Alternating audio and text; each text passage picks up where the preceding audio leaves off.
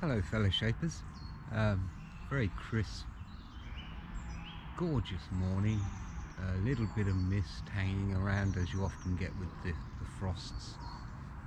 Um, it's probably about zero, one degree maybe, but it will heat up. But we've got a very picturesque scenery at the moment. I thought this would be a good time to start another one of my trees which is going to be this time round the hazel tree. We are now the beginning of February and there is some very definite signs for distinguishing the hazelnut if you look around now. It's quite a distinctive plant anyway but I thought I'd show you it. We've got one that's large enough to probably produce actual hazelnuts because it does take a while and they need to be well established before they actually do that. Um, and it's very distinctive. This hasn't been coppiced you can tell because of the different um, ages with the branches. They're all there's every kind of age of branch in there. Um, I have actually done a bit of work with this one myself. And will do as well. I plan to run off um, a, a little fence from here and hopefully produce some nice straight spear type growths from it.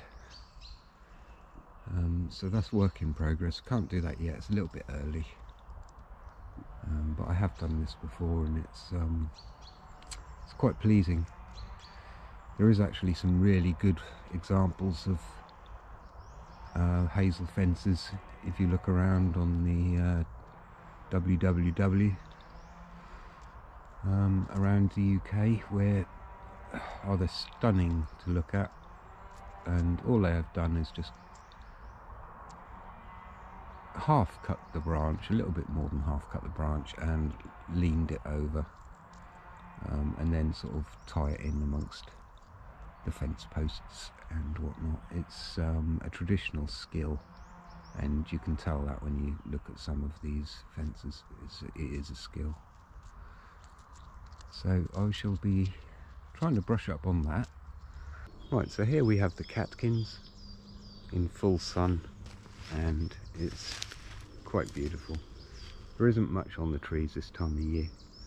Um, they're quite an early bird, the hazel, uh, this is the male catkins that um, they were a lot tighter together. You might find some on the floor, but they're already spreading their seed like you can see.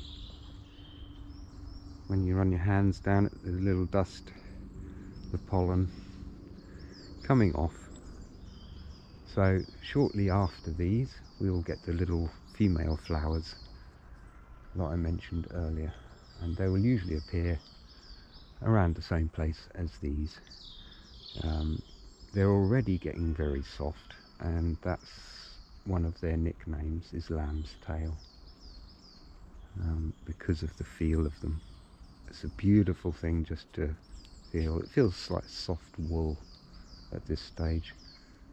These ones are still a little bit closed. That's how they would have looked about a month ago. Um, but yeah, they're, they're all opening now and spreading their pollen. I'd like to think you could see that dust. A quick look around the, the ground, around the tree here. It's not always a good indication um, because obviously you've got a variety of leaves here that are nothing to do with hazel uh, that have been blown in from all directions. But uh, the leaf, let's try the leaf first. This is obviously an old leaf, but it is shows you the rough shape and size that a mature one can get to. It's only the mature ones that will do this, and it's only the mature ones that will give you the nuts. So um, it's roughly a heart shape, uh, oval heart shape. Um, it will have a point on the top uh, much like this one. A point on the top and usually one each side there and it will continue around. But the prominent ones are these three. They will stick up like horns. Uh, the stem structure is uh, alternate, it's not symmetrical. In the May when these leaves will be about, they will be very soft, dowry, furry, um, hairy. It's hairy hazel, but it's very fine, smooth hair on the leaf. Much like the catkins when they turn into lamb's tails. They, um, there's a smoothness with this tree. So that's one of the sensors that's identified it really, just by touch alone. And also on the floor here you will find a splattering of nutshells. Here we've got one that's actually got no obvious signs of being opened, but the squirrels are pretty good at deciding what is good and what is bad before they even um, open it. So I'm imagining this is bad. Um, but there will be a lot of casings uh, also scattered around left. There's another one. Yeah, they feel very light, so I would be very surprised if there was something in there. It's hard to beat the squirrels to them grey squirrels um, have a passion for these things. Uh, don't know. But yeah, so you can easily spot it on the floor as well.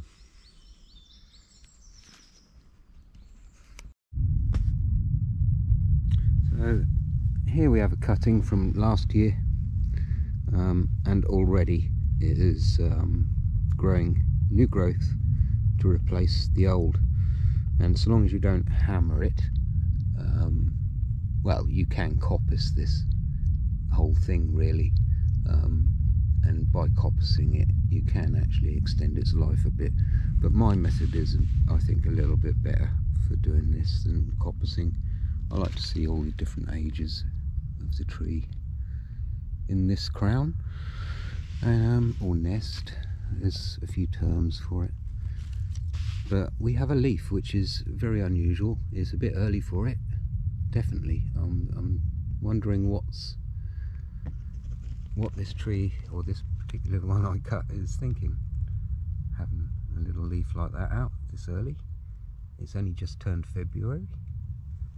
Um, and there's also lots of other little buds there that are going to produce leaves. But yeah it, that now is going to go straight up as long as nothing's in the way. Um, so that healed itself nicely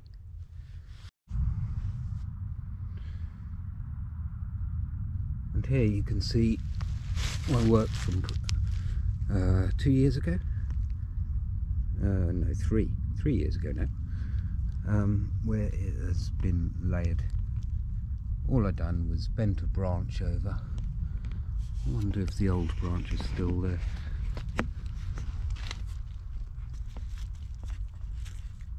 Yeah that would have been that branch there which was a very small thin branch there. Sorry about my camera work. And right next to it there is another one to replace it. And this one is ideal because it's slightly green which means it's very supple. It's very hairy. And it will actually bend over on itself. And you can actually just put it into the ground and hope for the best. And life has a way of wanting to live, and it quite often does. This was one that I leaned over three years ago, and it's already produced pretty much a whole crown. Um, there's lots of new growth coming on it. I, I could e probably pull this out of the ground actually very easily, so I'm not going to play around with that too much as I'd like to call create a little natural fence along the side this footpath here. So again this year I will clear space over here for another runner to come over and run from there over to the next crown. Right now I've got to walk back to my camp so I guess we could have a little chat about um, what you can use it for. Um, obviously fencing, um, it's very supple so anything that you need to bend, much like willow, maybe not quite as bendy as some of the varieties of willow, but hazel still has its place. Um, my tent currently is made out of hazel poles um, which is a dome tent. Uh, it can be made into arches whilst it's alive or fences while it's alive. There's a lot of uses for it in the crafts um, industry. Also, uh, thatchers use it for pinning down the reeds on top of the houses. Um, they make a U shapes out of it and use the U-shaped piece of hazel to pin down the reeds. So it's got a lot of traditional uses, it's got a lot of uh, practical uses. Um, it burns okay, it's very rapid when it's dried. It uh, You won't get much burn time, but it will be an in short intense heat. So other than that it's okay I haven't actually tried burning a large piece of it so I don't know what it's like uh, from a mature piece but the dead bits that are laying around the tree or in the tree even they're worth having there's no toxicity about it about or any problems abnormally it's a very forgiving tree and a very providing tree. It provides lots of um, habitat and helps nature no end. Um, we go into folklore. The folklore of the hazel is, uh, as you can imagine, quite large. Uh, but I'll just go over a couple of the interesting stories with it because I find that the stories you can then often remember. Um, this is my favourite story with the hazel that there was nine magical hazel trees around a magical pond uh, that contained salmon as the salmon was often worshipped as well uh, being such a high protein food, I guess, you know, it, would have been a valuable source. Such as the nuts from the hazel tree, as it goes, very high in protein. So again, this is why it's very popular and has lots of stories. But these nine magic trees around this magic pool with the salmon in, um, it's said that the for every spot that a salmon has uh, is a hazelnut that it's eaten. Uh, the more spots and the more hazelnuts that it's eaten from the magical hazel tree uh, gives it more wisdom and the abilities of prophecy to be able to predict as well. So it's got a lot of magical properties. So uh, there's a specific story where um, a higher class of monk went to uh, go fishing and he caught a salmon that was claimed to have eaten all of the nuts from this pool of wisdom. Um, so he thought, well, okay, so I'm going to eat this and I shall know, have uh, the, you know, total wisdom um, about everything, generally. So he caught this fish that um, it must have been quite a spotty fish I imagine. But yes apparently he, caught this fish and he took it home. Uh, he got his servants to cook it. As they cooked it um, a bit of it the fat um, from it spat onto his fat his fingers and to sort of calm the burn as you often would you would put it in your mouth and so he absorbed a piece of the wisdom um, and the high cleric whatever monk was unable to achieve 100% wisdom and to know everything due to that. Make of that what you will, but yeah, it's seen across a couple of cultures with this sacred pool. Um, it's probably just spread from one culture to a couple of others, but it is a common theme um, with these nine magical hazel trees around the sacred pool of wisdom. So make sure you get your Nutella in you. Might get a bit of wisdom and plenty of salmon. And don't complain if it's spotty. Um, that's the most interesting folklore story I found anyway. Uh, there is a whole shed load of stories about it because it is a provider of food, a very valuable source of food in the form of a nut. Um, and it's very farmable, much more so in previous years and years gone. But um, yeah, it would have definitely been a, a very large source of protein back in the day, which would have been very needed. Uh, the leaves are the first and last really. They will appear before most leaves do um, and they also, also stay on the tree one of the longest as well. So they kind of like to hold on to their leaves a bit. And you will probably recognize the leaf. You, you probably know the leaf without even knowing you know the leaf because it's uh, a common symbol that's been used I think by Nutella and various hazelnut products where they put the leaf on it. So you probably recognize the leaf. It will seem familiar, uh, familiar to you. It did to me anyway. So that just about wraps up the amazing hazel. I'm now going to get a cup of coffee and try and warm up because my hands are absolutely frozen. It's uh, a very, very pretty day, but also just it's got a bit of a bite. But thanks for watching guys. Take care of yourselves. And as a reward for your efforts, nature provides. She always does. So we've got a nice bit of dry wood here. It's very dry because it's been standing mostly for the most part in the middle of that crown and drying for the last year at least since I last tidied it up. Um, there is a little bit of a technique for carrying the wood.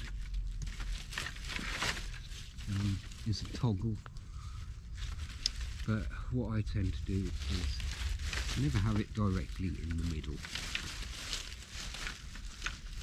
just have it left of centre. Or right of centre depending on your preference.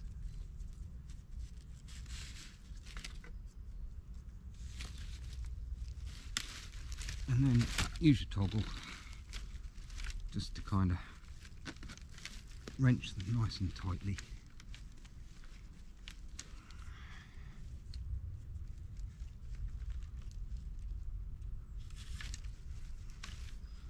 I like to just wrap it round a couple of times really just to be sure that that holds because it can slip with a bit of a jiggle mm. yeah. so that's toggle uh, now I can hold the front end of it more because the back end has been tied and the front end instead of adding another toggle I just make my arm be the toggle really. And I find this way you don't get caught in between all the trees and things and barging your way through the woods or whatever. But yeah if you haven't got a toggle get one. I've made a video about those before. Um, it's amazing old technique with many uses. And like I say, you help nature a little bit, she helps you.